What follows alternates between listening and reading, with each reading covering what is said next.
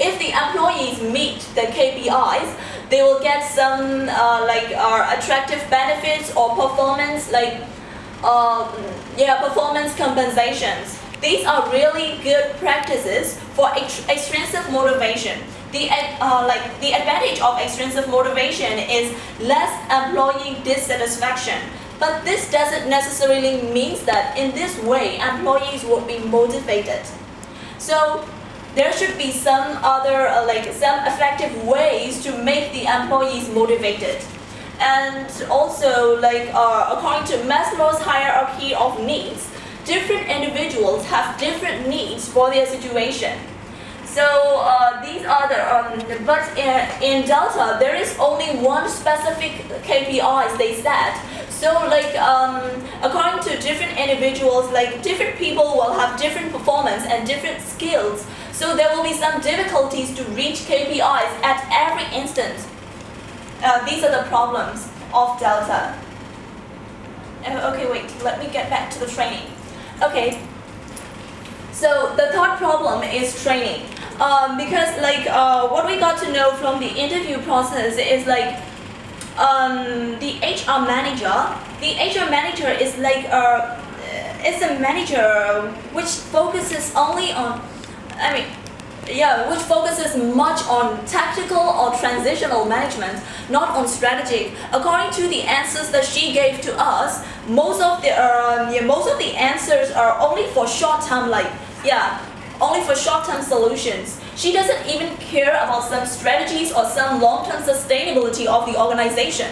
So even she is the HR manager, she doesn't aware of that. How can she how she can manage and um, make the employees to be like um, uh, to account, uh, I mean, uh, to, uh, to cope with their organizational structure and success, right?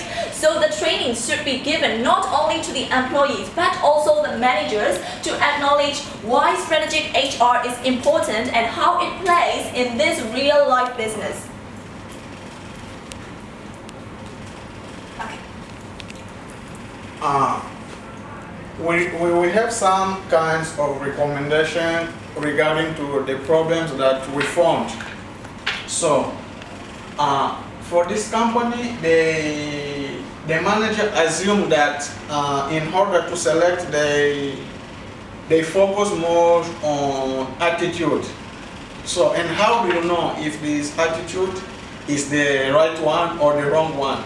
It's not just by looking to the person.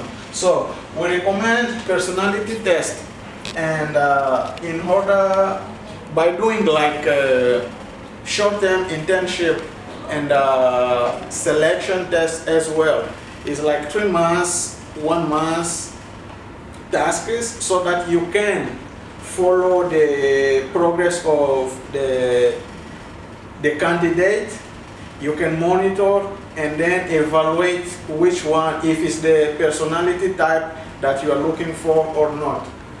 And uh, to define, in order to do that, they need to define how they should do it. Is it long term or short term? And uh, again, uh, the manager stated that they must focus to long-term solution because short terms are not that practical for their companies. So um, doing long-term uh, long-term strategies should help the company to produce more and not just because we don't know what's coming tomorrow. So when we have long-term strategies, we have more chances to improve our objectives because objective is not what I only do now. So what about tomorrow? So we have we need to set up the strategy clearly and con con consistently in order to achieve these kinds of goals. Okay, this is the recommended solution for Delta. Uh, okay, as I explained before, the problem of Delta, the first one is uh, it has so um, it has high dependence on extrinsic motivation. So the advantage is only less employee dis dissatisfaction. But in this way, employees are not motivated enough. So uh, to solve this problem, we propose uh, intrinsic motivation by the use of two-factor theory of two-factor theory. Intrinsic motivations. Uh, the, the practices of intrinsic motivations are like feedback system, autonomy, employee empowerment, and also based on the job design theory that we can also use job enrichment, job rotation, and task significance or task identity, etc. By these practices, employees will be motivated enough for the long-term sustainability of the organization. Okay, for the second one, like um, um, the first thing that managers have to do is they uh, they have to set what is the need of each individual one depend on their performance. Like uh, according to Maslow's theory, uh, there is uh, mm, like uh, for low-level employees, there's like um, the requirements are uh, mm, social social needs, social needs, physiological needs, and safety needs. And for high-level employees, the needs are esteem, um, esteem needs and self-actualization needs. So, uh, like based on David McClelland's theory of needs, different types of needs like needs for achievement, need for affiliation, and need for power. These depends on the individual situation of the employees. So managers have to set what kind of employees it is, and after that, what kind of motivation would be useful for each individual one. In this way, uh, the problems that we set out for Delta would be solved to a certain extent, we propose. Okay, this is the conclusion. Uh, to conclude, uh, to state about the TSC company first, although although the owner of the TSC uh, company understand the, the impact and values of HR strategies uh, for the company, uh, he's not applying those strategy strategically. He's applying in uh, for short term. We we highly recommend for the company to apply those uh, strategy as a long term and a persistent way by defining goals uh, for Delta company, although it's an international international company, uh, it have it have uh, frameworks uh, for for pro uh, for HR and for everything, and they can they can afford to bring any change, changes for the company for the for better, better development and for better production uh, productivity.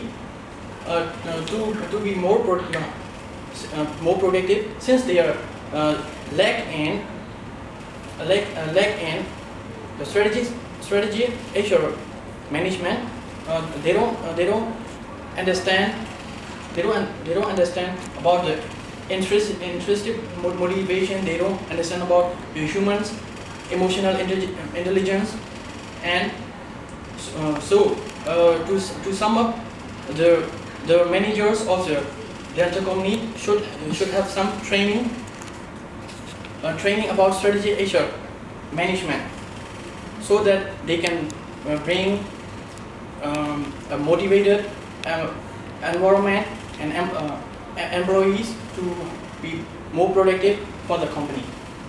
Thank you very much. In addition to this, uh, for both companies, uh, we can see like the main issue is a lack of understanding of the main role of HR. For Delta company, we can see that we could we could see the HR manager. She doesn't understand very well the role of HR department in the company. So that's why we got a like a broad information about the organization. So in order to better perform the HR himself needs first to understand what is the role, what is he doing there. So for KC, we could also see a similar situation.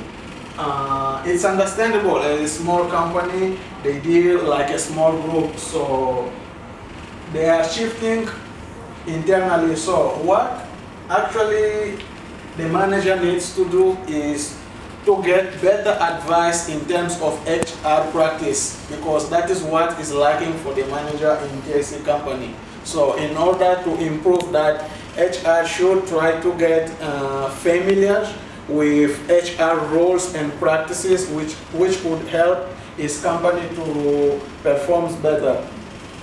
Thank you. Thank you very much.